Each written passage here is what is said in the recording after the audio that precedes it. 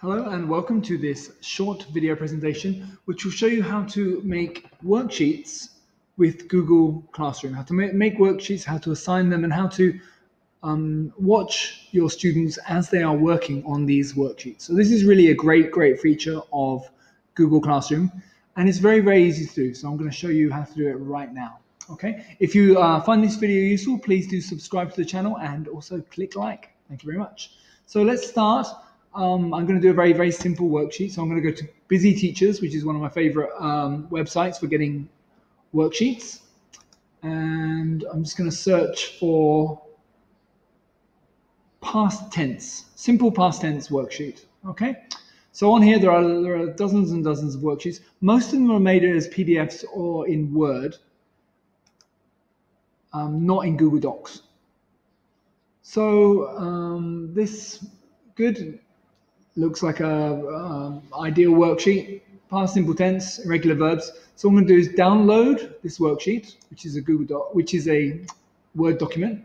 Okay, and then I'm going to upload it to my Drive and then convert it to a Google Doc.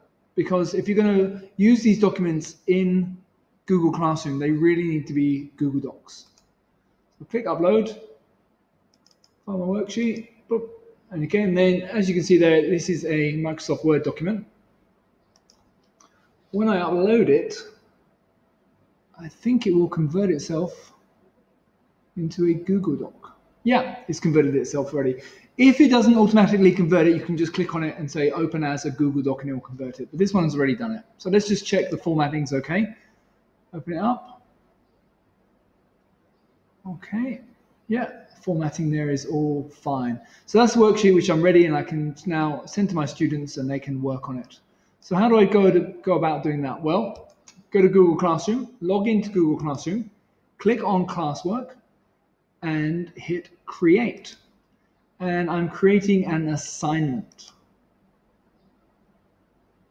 Okay, so what's important here now is that I add that document that I've just uploaded. Here it is, you can see that, past simple. And this is the very, very important thing. You need to make sure you make a copy for every student. Okay, if you don't do that, the students will all be looking at the same file. They will all be working on the same file, which is great for when they're doing group work and other activities. But if you're doing a worksheet, you really need to click it to make a copy for every student. So I click on that there. Okay, great. And then I'm going to just uh, explain what the lesson is.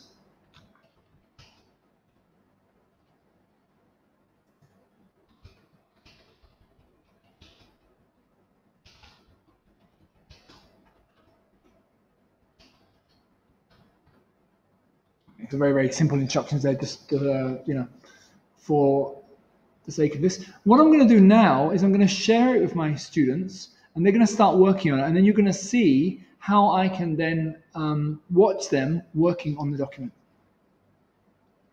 So let's see how this works.